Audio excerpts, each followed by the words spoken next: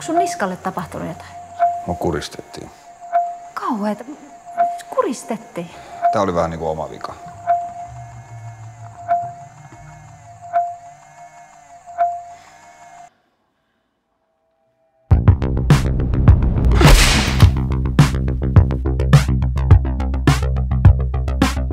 Mä haluaisin nähdä sitä uudestaan.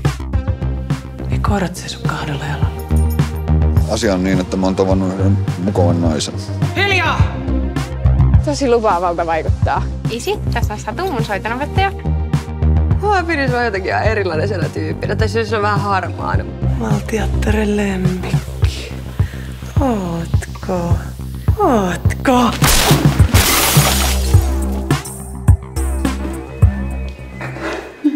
Isi, avaa ovi. Onko kaikki muumit laaksossa? Mitä tarkoitat? Että oletko menettänyt järkesi? Joskus olisi vaan kiva tehdä jotain ihan muuta. Jotain tavallisia juttuja. Eikö sustakin? Kuultiin en mä pidä tavallisista jutuista.